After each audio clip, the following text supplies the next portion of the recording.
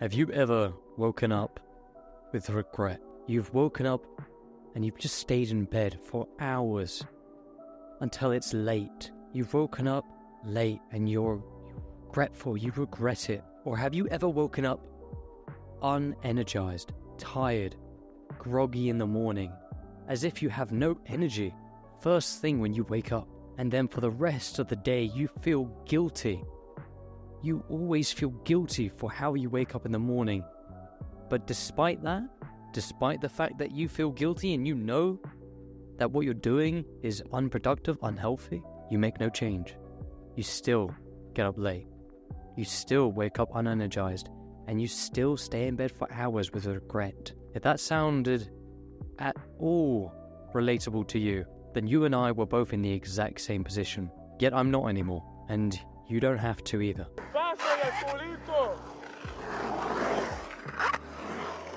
First things first, how are you? I hope you've been good and I hope things have been alright. Maybe no one has asked you that. So, yes, I used to be in that exact very scenario. That's how I was able to describe it in such depth. Because I used to wake up every single morning at like 10 pm. No, not 10 pm, at like 10 am. And I'd stay in bed until 12, midday, midday, I'd still be in bed. It got so bad to the point that my dad just got used to it, me waking up midday. And now, when I told him that I was going to wake up at 6, he looked at me and laughed, and it was like, yeah, no, nah, that's not happening. For the past month, I've been waking up consistently at 6 a.m. And a couple months before then, I was waking up consistently before 7 a.m. You know, 6.30, 6.40. But now, I wake up at 6, consistently, every single time before my alarm, and I get up and turn off my alarm. I don't need to set 20 alarms every five minutes to make sure I get up. I just set the one and I get up and I press it off. I don't press snooze and go back to bed. So, how? How did I go from someone who could only get up at 12 pm to getting up at 6 am? First things first, getting up at 6 am without a purpose, without a thing that you want to do, without a goal, is not productive. You see, when I first started getting up early, I started getting up at 6:30, you know, I got up at 6:40, got up and I had nothing to do. I wanted to go out record, but it was dark outside, so I'd just stay inside and, and I'd go on my phone. That's not productive, that's still not healthy. You may as well get more sleep. that, that, that wasn't helpful. Every time I get up, I make sure that I'm accomplishing a goal that I have set for myself. Do you want to be more productive? Do you want to be healthier? Set a goal for you for a reason to wake up early. You will actually more likely get up when you have something to do, and also it just makes your morning actually feel productive. Because there have been times where I've gotten up at 6 a.m. and it's been pitch black outside, and I can't go out and record because it's dark outside, and then I just sit inside and go on my phone until 8. I still feel terrible. I still feel unenergized. I still don't feel good because I haven't done anything productive. I got up early, yeah, but then I didn't do anything. So, what is it that you want to do? Do you want to be more productive? Do you want to read that book that you've been meaning to get around to? Do you want to go to the gym? Do you want to start exercising? Do you want to make yourself a proper healthy breakfast? Set a goal for yourself that you can do in the morning. Best thing is a habit. Habits are built best and consistently in the morning hours of the day. What you also want to do is create a plan. Plan out your day from the moment that you wake up, what are you going to do?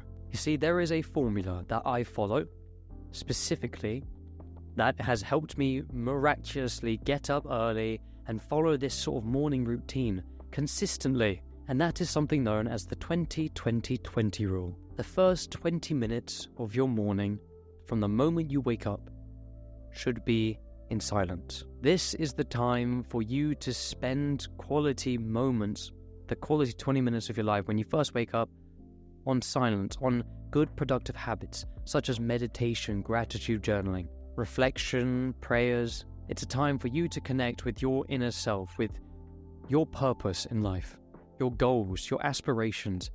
So spend the first 20 minutes in silence, meditating, gratitude journaling, where you're writing down 10 things you're grateful for. Maybe you're religious, spend it on prayers, Spend it planning your day, just spend it in silence, focusing on good quality habits. The moment I first get out of bed, I sit on my bed and I meditate. The next 20 minutes of your day should be simplicity. Plan your day out, but don't make it super, super complicated. It makes it hard to follow and it makes you start overthinking and less likely want to do it. And then you procrastinate. Plan your day out, but do not make it complicated. You see, my day, when I first wake up, I just go meditating for 10 minutes.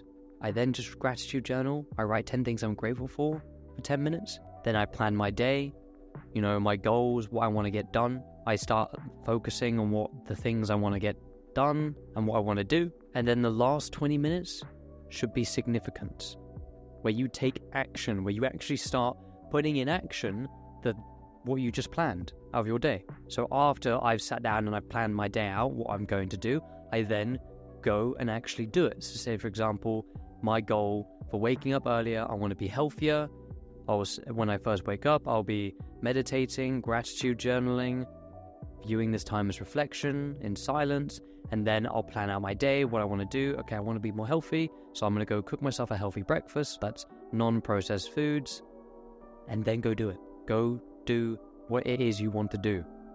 Maybe you want to be more productive, so go read that book, go listen to that podcast, learning about that thing you want to improve in. Maybe it's become more physically healthy, so you start exercising, a light walk or a light jog first thing in the morning. This is the 20 20 20 rule. Incredibly helpful, and it's helped me a huge amount, especially with overthinking. Oh, I want to get up early, I want to do well, I want to be productive, and then I don't, and I oversleep. Planning all this, doing this first thing in the morning, first 20 minutes, silence, next 20 minutes, simplicity, planning, and then the last 20 minutes, significance, taking action, genuinely helped me stay and wake up consistent and wake up productive. And the last thing I recommend to waking up feeling energized, a early, good, productive morning routine is something known as the law of magnification. Focus on the positive aspects first thing in the morning. It's going to be hard at first. It's going to be really hard getting up consistently, but you don't have to start with 6 a.m. You can start with 7 a.m. You can start with 8 a.m. if you're waking up at like 12 p.m. And when you wake up, focus on the positives. You know what? I woke up in time. Yes. I'm going to get some meditating done. Yes. I'm going to plan out my day. You know what? I'm going to do this. I'm going to read this book about business. I'm going to go to the gym today. I'm going to eat more healthy. Yeah. And then the last last 20 minutes of that that section, significant, take action. Get up and do it. I'm to go up. I'm, I'm to go on a light walk, light jog outside. Come back, cook some healthy food. And then I'm to read that book. And then I'm to go out to the gym later. Focusing on the positive aspects of your day, of your morning, gives you a great sense of life satisfaction. And it makes you feel like you've actually had a productive morning. So you're not getting up at 6 a.m. and doing nothing. You see, that's the thing that people make the mistake of. That's what I used to. I get up at 6 a.m. and feel like I'm, oh, I got up early, yes. And then I wouldn't do anything and I'd just scroll on my phone until 8 a.m. 8 a.m. And then I'm like, oh, well, I still feel bad because I haven't done anything. It's not just waking up early, it's actually doing something that's productive, that gives you a sense of life satisfaction, that you've just done something accomplishing, that you earned waking up early, and you made it feel good. It's not just the waking up part, it's what you do afterwards. I hope things been good, and I hope this video helped you out. And I would be really appreciative if you clicked on the video that's going to pop up in the corner here, because this video could help you out as well. And subscribe if you want to see more content like this. Stay consistent and do the best you can. You know what time it is? Oh yeah, self improvement kids. Mwah.